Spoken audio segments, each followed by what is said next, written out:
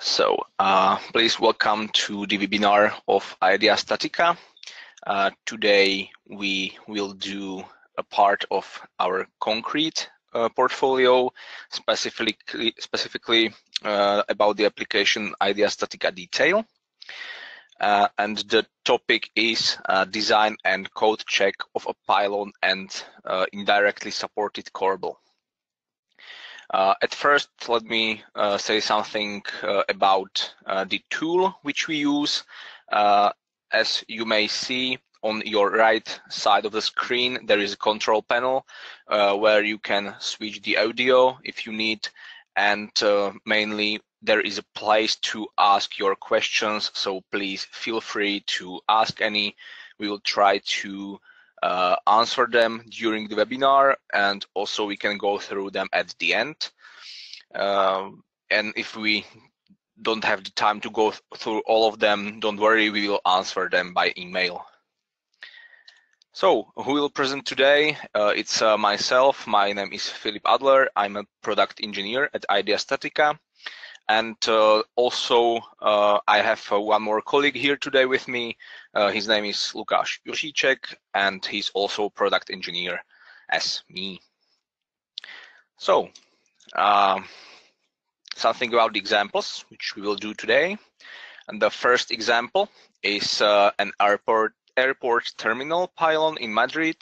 Uh, of course, uh, the structure is much older than our new application, but uh, this is an example which we did for uh, one of the engineers who wanted to see uh, such a check of uh, a check of such structure, and this is what we will go through.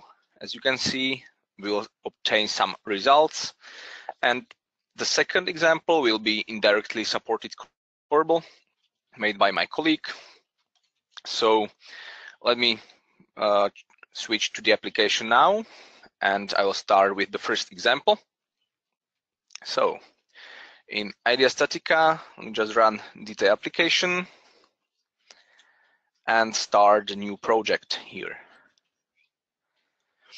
Uh, at first, I've came into the wizard, which uh, tries to uh, make my input quicker or more quick and uh, there I only need to select the default concrete grade from the library let's say I want to stick uh, to the default grade C30 on 37 and as well the default settings for reinforcement but you know there is a whole library according to the Eurocode now. And of course default concrete cover 30 is uh, working for me. But I can type anything. Of course these values can vary with uh, within all the items in the project so uh, these templates which you can see here on the left side they aim to speed up the process of input so there are some of them now more will come with next versions but uh, in my example, I would like to show you the general input as I will use a reference by DXF file. So I click on the general input and uh, I uh, it in a geometry tab. It's the first one where you need to define the geometry itself. At first, I will click on import DXF, which will run uh, the dialog for selecting of the selection of the DXF file, this one. And you can see some lines which I have in DXF. Uh, as you can see that they are the lines, not the polylines. So when I select one of them, it's just like this. Uh, if I had the polyline, the whole outline would be selected at once. Now I need to run the consecutive button, which will find connected lines. And when I click on the outline here, you can see that uh, this geometry will be uh, imported. So now I click OK, and you can see the shape here. Uh, let me just switch to a 3D view because um, there is an important thing. My DXF file is a 2D DXF file, which we can import now, and I need uh, the information about the thickness of the model. So let me change it to one meter like this. Okay, so that's the shape itself and the software already gives me a warning that uh, the structure is, as of now, uh, statically or determinated.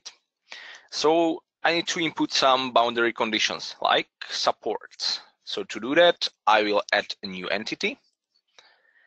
And uh, I have uh, many varieties or possibilities in from supports. So I can uh, place some point supports, line support, I can hang the model, or I can even hang it by the reinforcement bar itself called patch support. And in this case, I will use line supports, uh, which will be on uh, edge number 13 and edge number 3, like this. Uh, now it is, uh, you know, a hinged one, but uh, acts just in compression. I will deny this option, and I will also restrain uh, the rotation, you know, and uh, I will copy it to the edge number 13. So now you can see there is no warning on the left side of, of the software itself. Okay, uh, the last thing which I need to define in geometry is uh, is the bearing plate because uh, I will load this model by the reaction from, let's say, the roof, you know, the snow and so on. And uh, to distribute this point load of the reaction, I will use a bearing plate, which is here in load transfer devices, the first one. Now I need to specify the dimensions. So it will be half meter wide and three centimeters thick. And uh, also now I have it on the wrong edge, so I will switch the edge to number 10, like this, and move it slightly from uh, the beginning of the edge by, I think it will be 12 and a half centimeter, like this. And of course, the same as I did for a line support, I will copy it to the edge number six. So I will just change the edge number and now I, I have uh, defined everything what I needed in uh, geometry. So let me continue with uh, defining definition of, uh, of the load effects. Uh, I can specify more load cases here, some for permanent, some for uh, variable load cases, even combinations. I will leave that part for either uh, my colleague or our tutorials. So please feel free to go through our resource center examples. So let me just stay with one load case for permanent load cases uh, or permanent effects.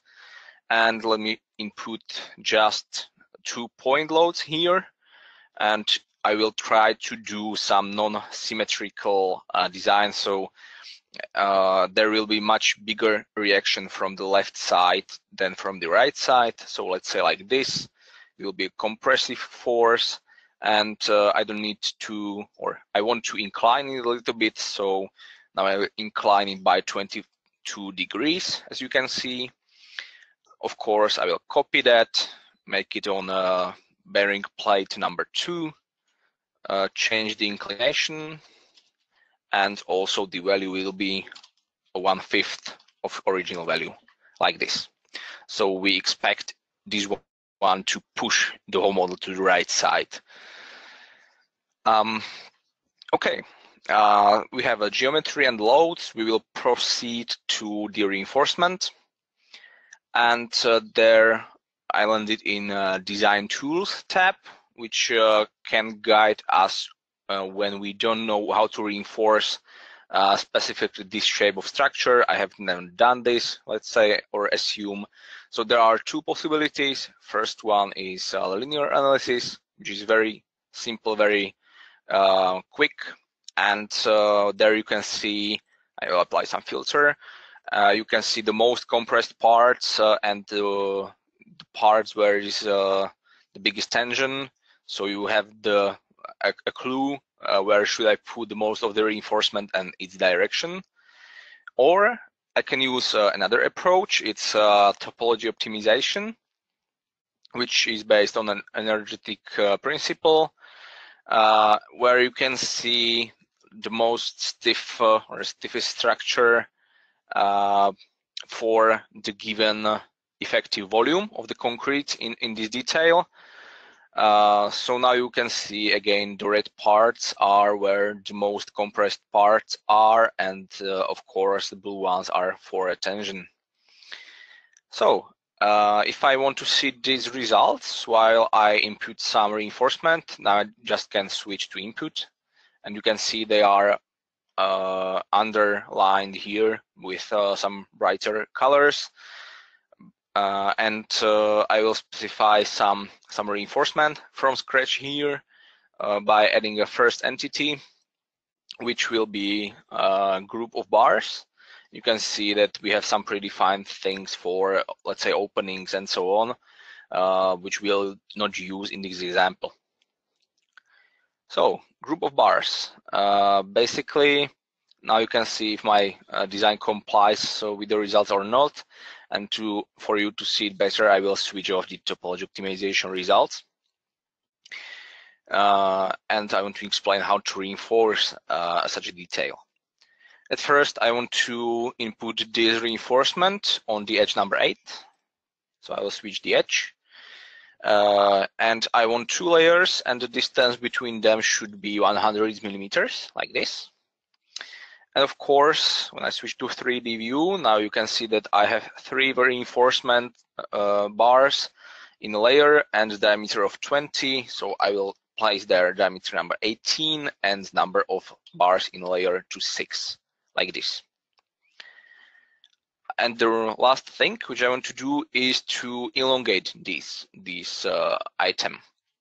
So to do that, we have this tool here, position on edge. The first one is the whole length on the given edge. So you see as this edge number eight ends, uh, the other ends as well. So I want to extend and uh, it asks me if I want to extend the beginning or the end. Uh, and for me, uh, the, the hint to know where the beginning and where the end is, is this orange arrow. It actually shows from the beginning to an end. So when I now extend the end, the left part should extend. And if I select beginning, the part, uh, right part should extend like this. Okay, uh, this was a definition by uh, out, outline or opening.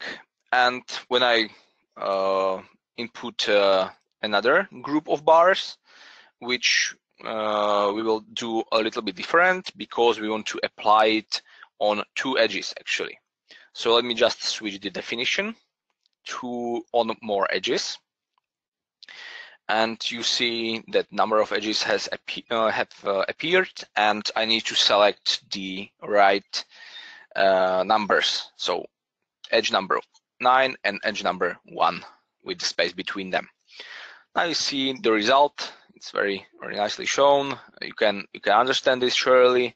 And I want to extend the last edge. It means the last in this list.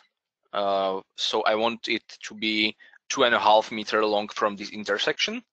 So when I click on this checkbox, I can input the value like this. And of course, uh, I can show you how to copy the reinforcement. It's the same as I did for bearing plates or supports. So I have selected uh, GB2 item, copy.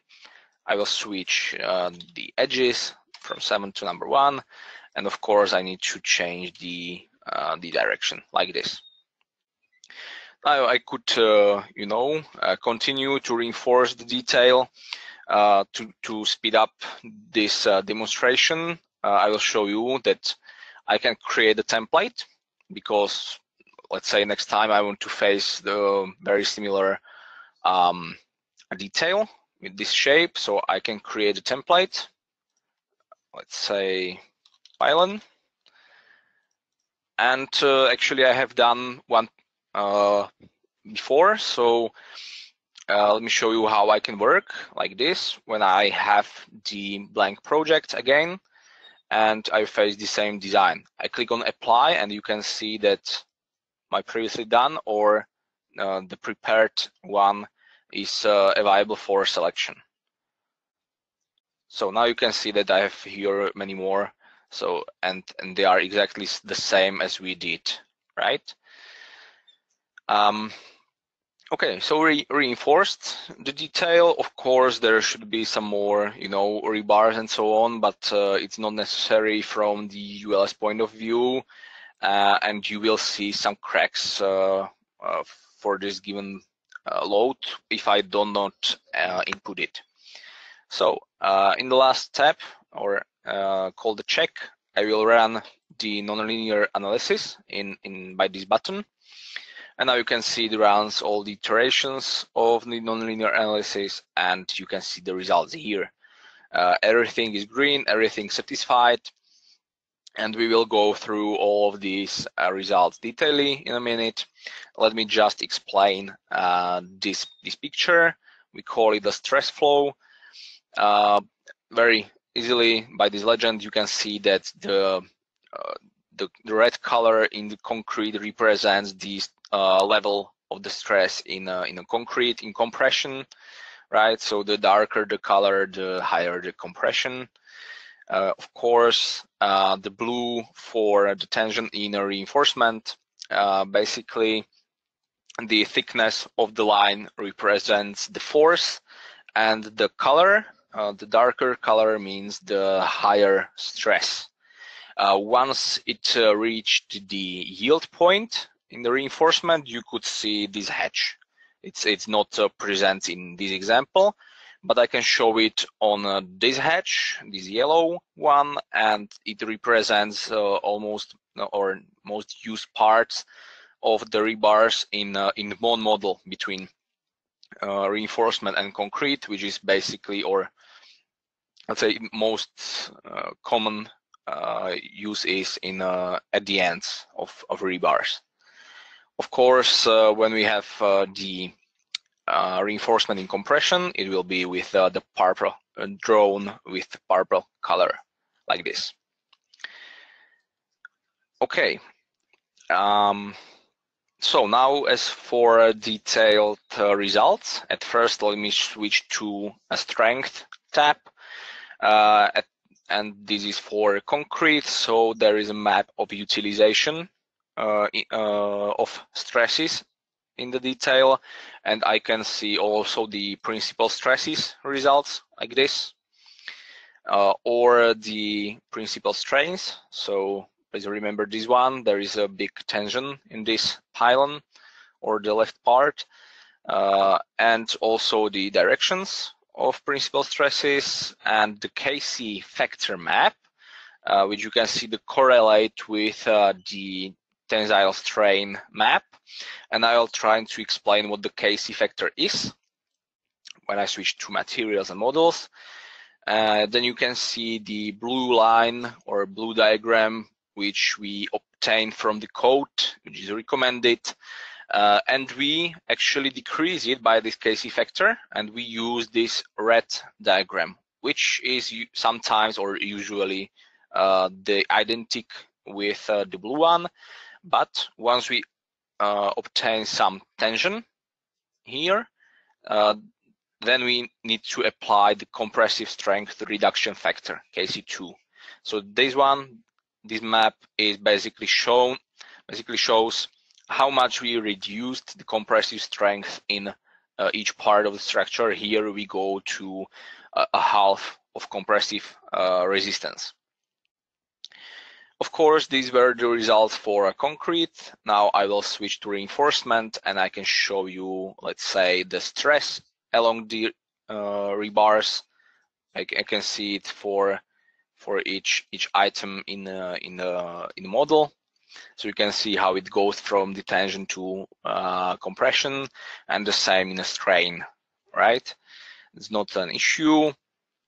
Then we have the results for the bond model on the Anchorage tab, where we can see also some utilizations.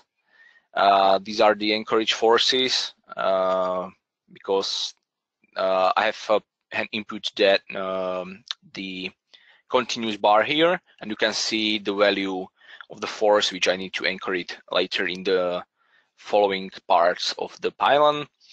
Uh, and for instance, the same as you have uh, seen for the stresses, you can see the forces in the rebar.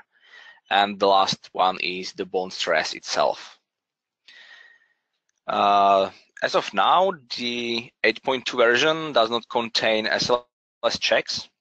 They will uh, come with a 9.0 version in uh, April.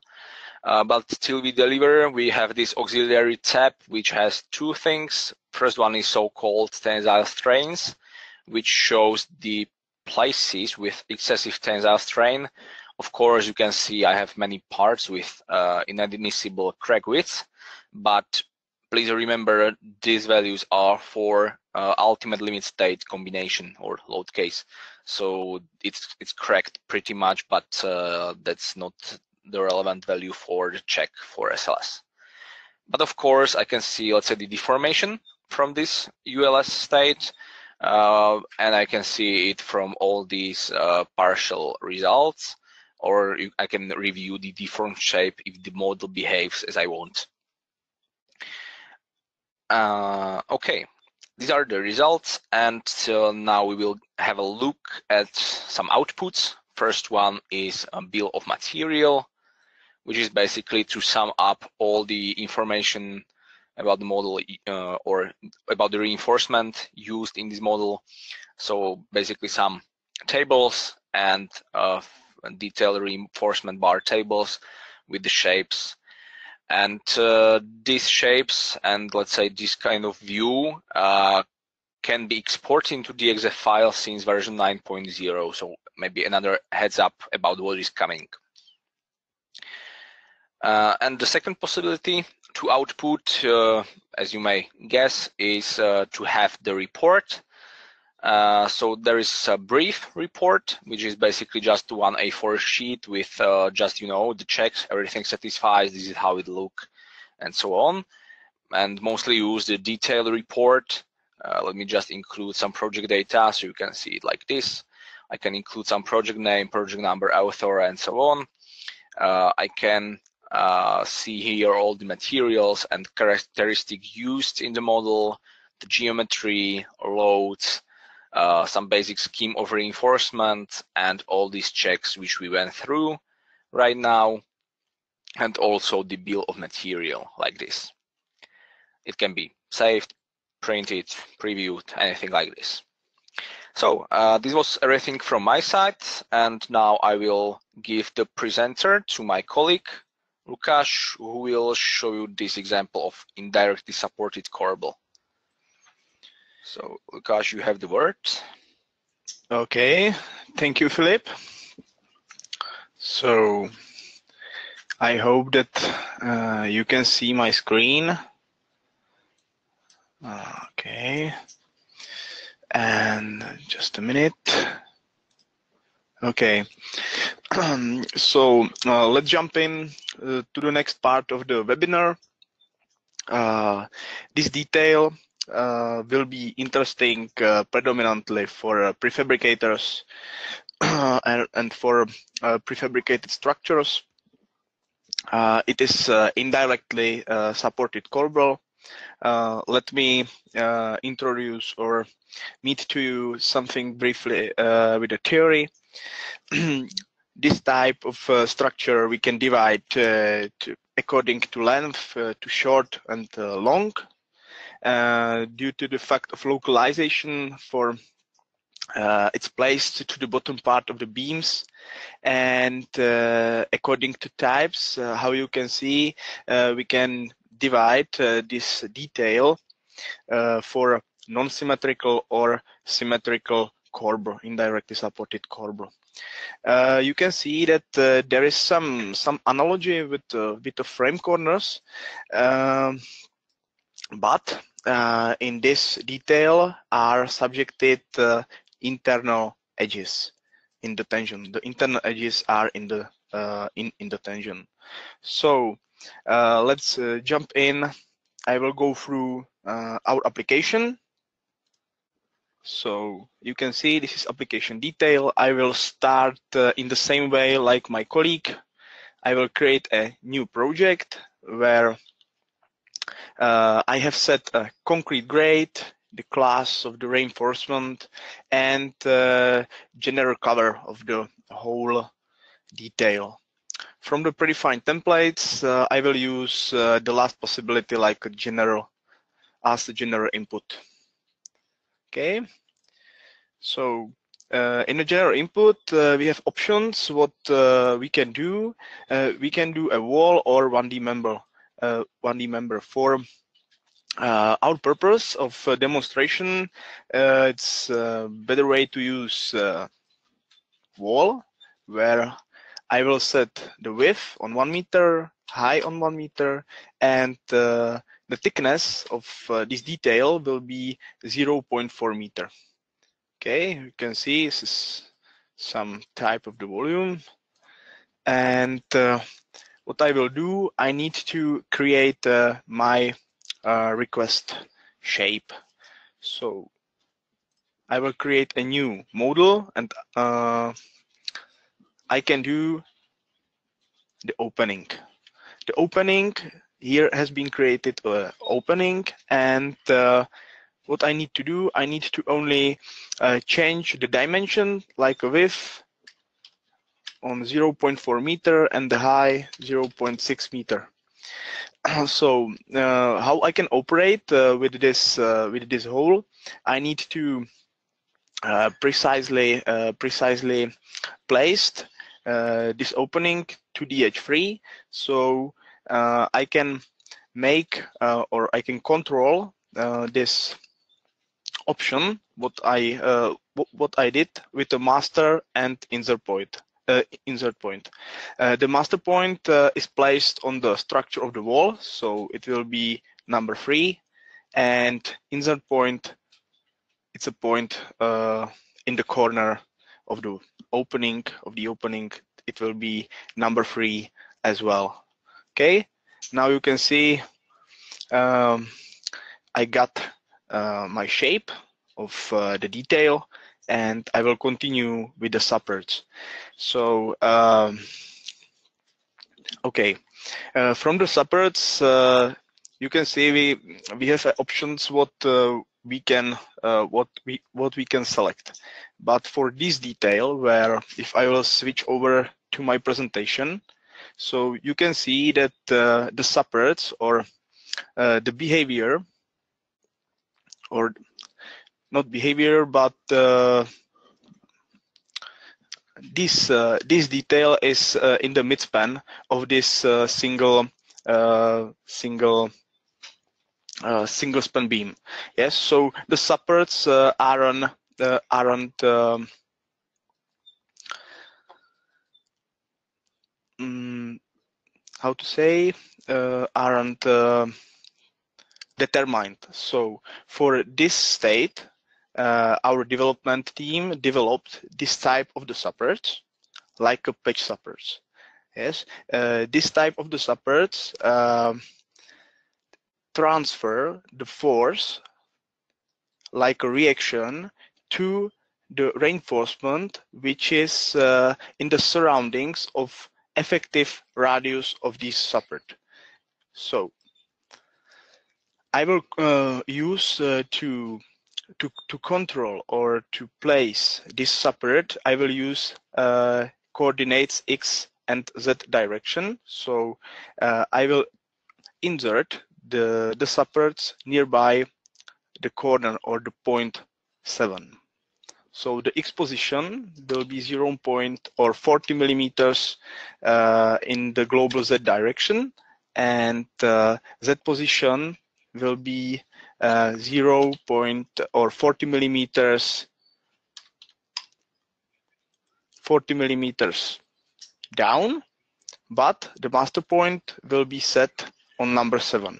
Uh, I assume that these supports will be in the midline of uh, of the reinforcement, which will be delivered uh, in the next uh, in the next steps. Okay. yes. So now you can see that the program automatically want to ask that structure is still over uh, determined. So I need to input uh, another another support. So I will I will use for that uh, copy operation and change. I will change only the master point on the number four.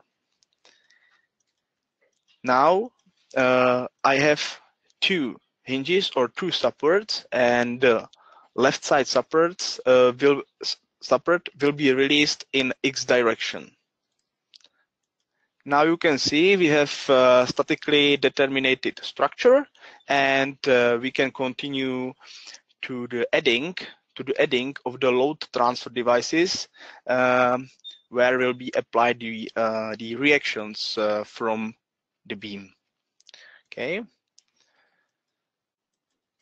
Now you can see uh, the width of the bearing plate is uh, 20 centimeters, the thickness 20 millimeters, and what I need to do, I need to input uh, the bearing plate uh, to the uh, nearby the H5.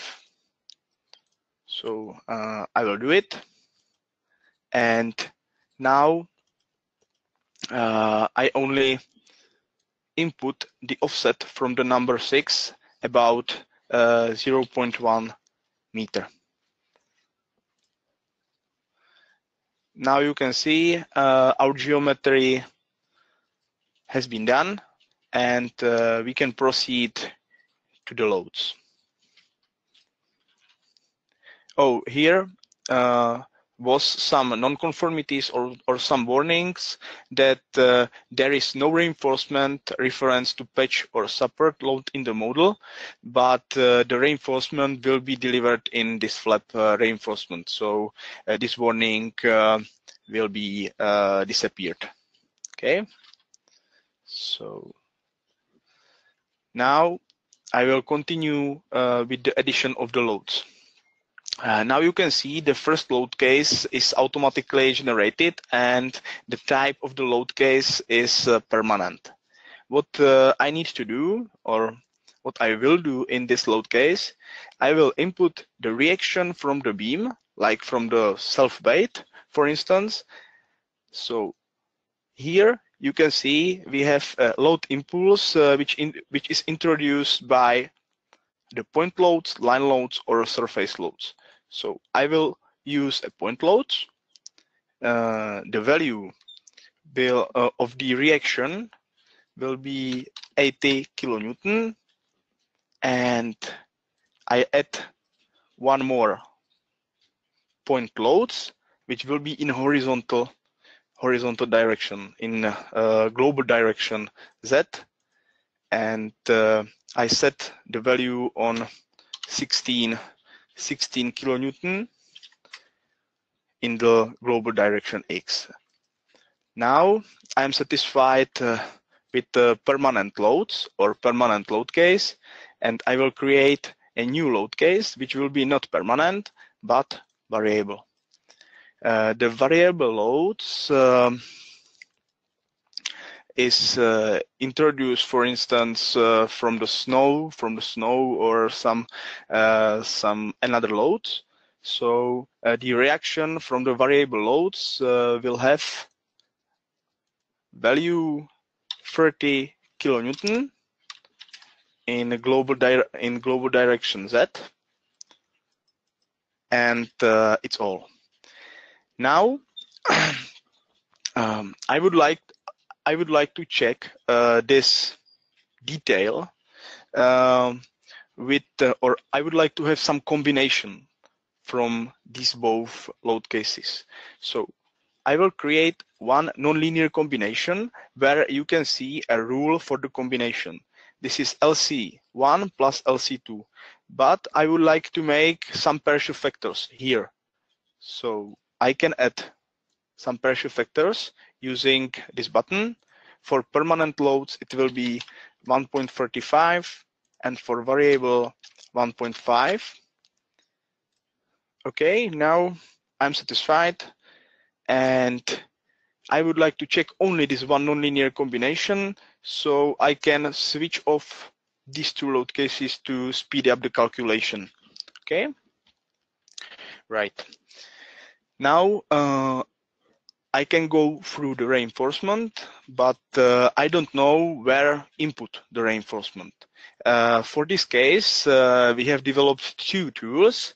The first one is uh, very well known like a linear analysis, where if I'll scale um, the megapascal uh, or some compression fields, you can see uh, the shape of the compression fields and where are tensile areas. For uh, more clearly way, uh, we have developed another design tools which we named we named topology optimization, which is based on strain energy principle and uh, this uh, this tool is finding out the most effective shape uh, due to the applied loads, uh, which is based on the effective, uh, not based, but uh, due to the effective effective volume of structure. The effective volume here, I have a 20%. For 40%, I will have another. This is better to see where uh, where is uh, where are a compression fields and uh, tensile areas.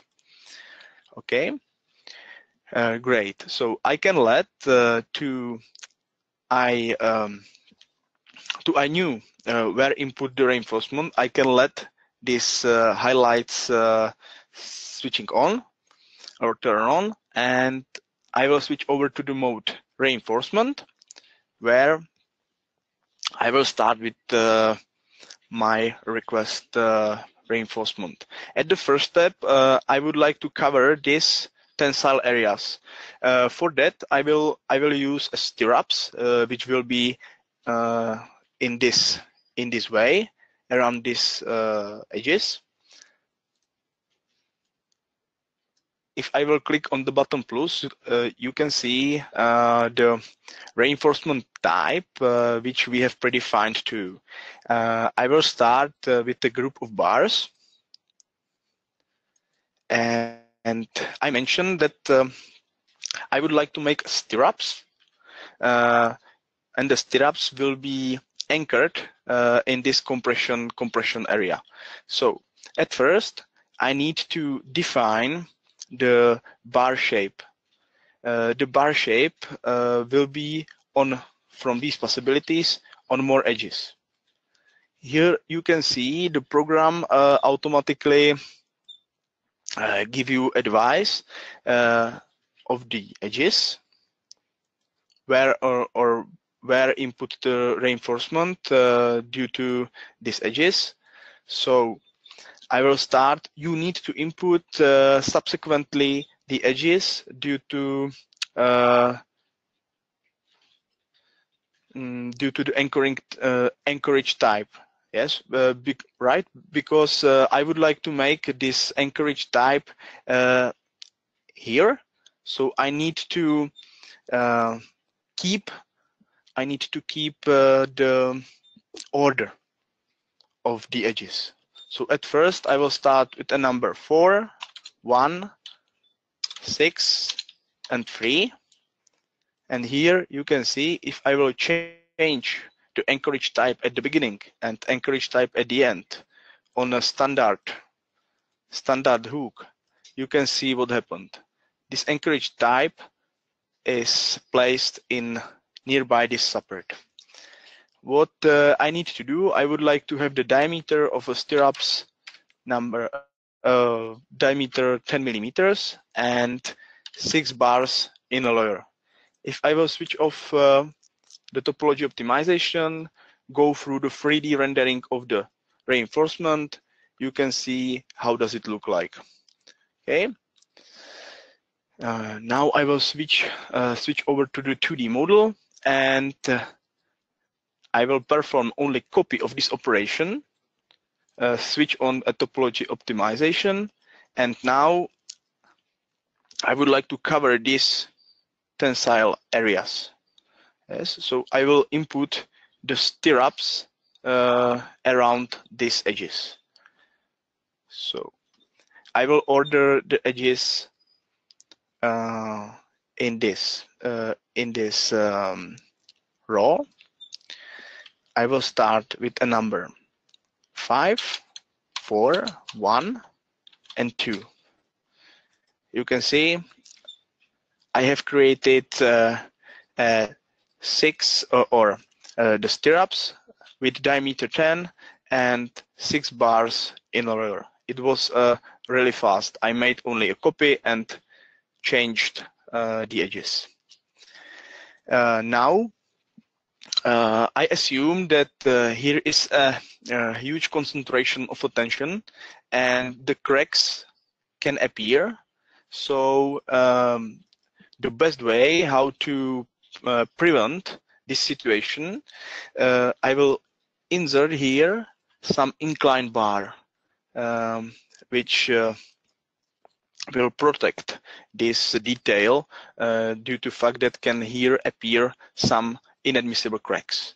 Okay, I will add a new reinforcement uh, like inclined reinforcement bar and the diameter of the bar will be set on the 10 millimeters six uh, six num uh, six bars in a layer and uh, I would like to have uh, to to the reinforcement uh, where elongated along the uh, for or for the maximum length. For that, I will use this entity uh, or this item full length bar. And here I need to only um, define some anchorage type at the beginning and uh, at the end uh, of a bar. Okay, now I will define here a standard hook. And uh, the end will be only basic anchorage. I will change uh, the angle angle of the bar on the 55 uh, degree and uh, what I have forgotten for that, I have mentioned that these supports uh, are transferring the forces from these reactions to the reinforcement. So I will come back to the group of bars one, and I need to switch on this uh, this checkbox. You can see what happened. The radius can uh, appeared, and now we have done with the reinforcement. I can go through the check and run the non-linear analysis. Okay, it will be a really fast process because there is only one non-linear combination and you can see uh, what happened. The program automatically detected uh, the weakest part of a structure.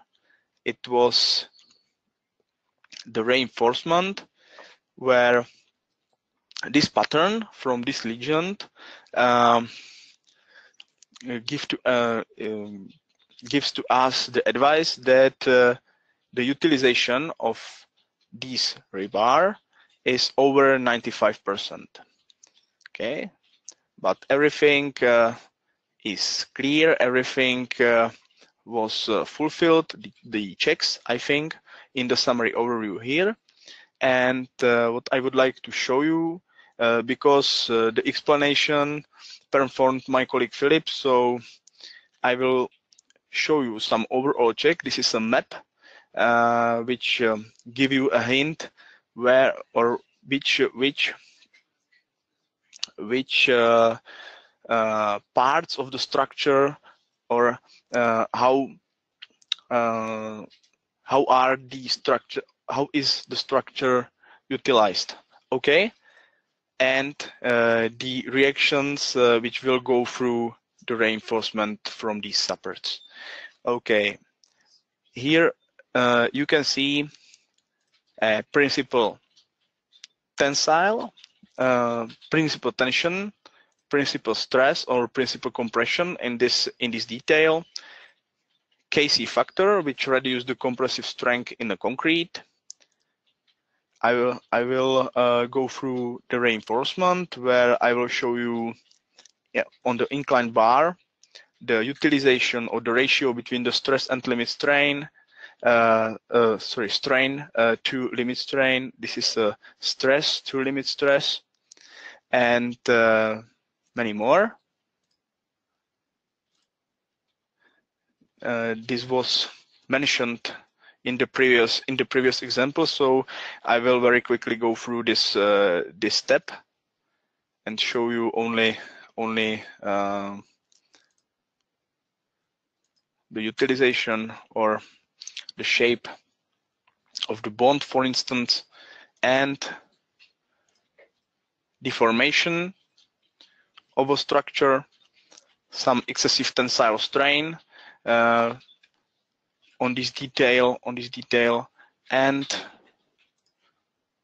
I will, I can go through immediately uh, through the detailed report where oh, where you can see uh, materials, some geometry, reinforcement, overall check of the structure, stress flow, and detailed results uh, which uh, has appeared in the check flap. Okay, so it's all from my side and thank you for attention and I will give a presenter to uh, to my colleague Philip.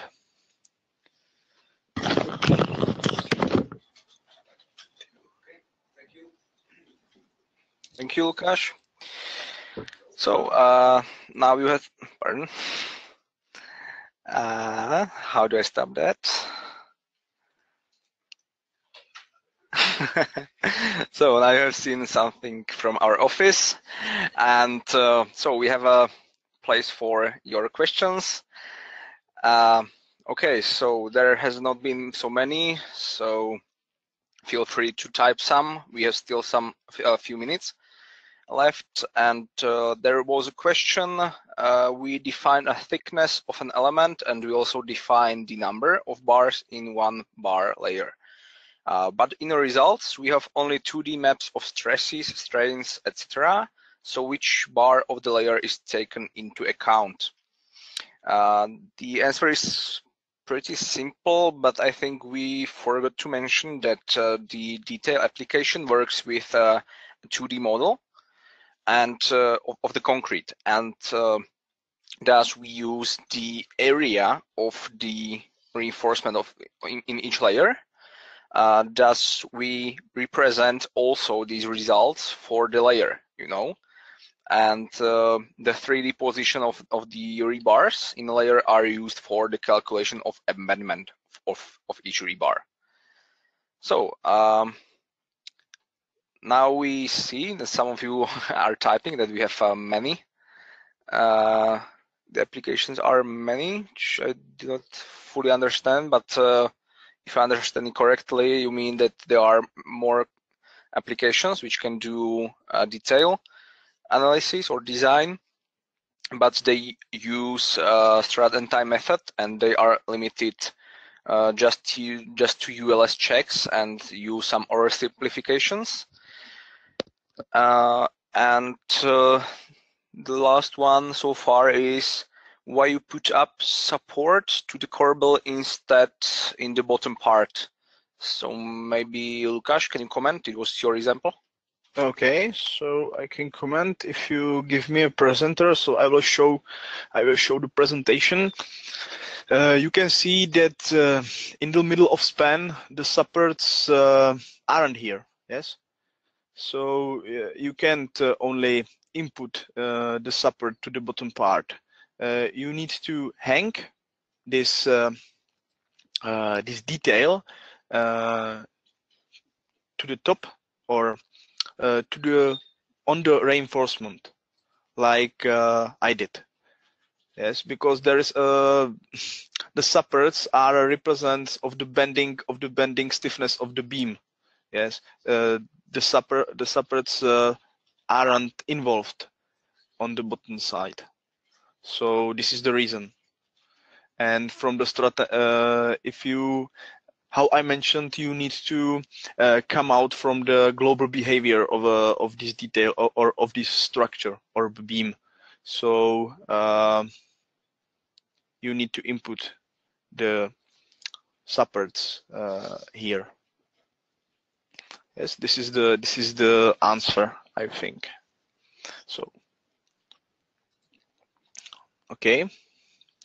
Yes, there was the answer in the questions. Uh, thanks, you have to simulate the longitudinal rebar. Great. So uh, this for this question. Uh, okay, so uh, I think we have come to the end of this webinar. So uh, after this webinar, um, there will be a, questionnaire. Uh, it will take you some about 30 seconds uh, is a feedback for us what to improve or not. Uh, maybe some of your wishes to, to see on the next webinars. And the recording of this webinar will be uh, sent to you uh, within three uh, days. But just remember there is a weekend coming, so I think till the Wednesday. It will be also on our, our YouTube channel, so please feel to subscribe. And uh, if you are not the user of IDEA StatiCa, you can apply for our trial on the given website. It's also uh, on our homepage on the right side. So feel free to use and, and try it on your own. Uh, some next next things which do not forget. Uh, it's our resource center also on our web pages where you can find um, some uh, tutorials for our applications, uh, some some verification articles and so on. Uh, there are also the full lists of recordings of the webinars and also uh, there are scheduled webinars. The next one is on February the 22nd, uh, which will be, I think, about the steel connections. And uh, that's all what we wanted to tell you. Uh, so have a nice weekend.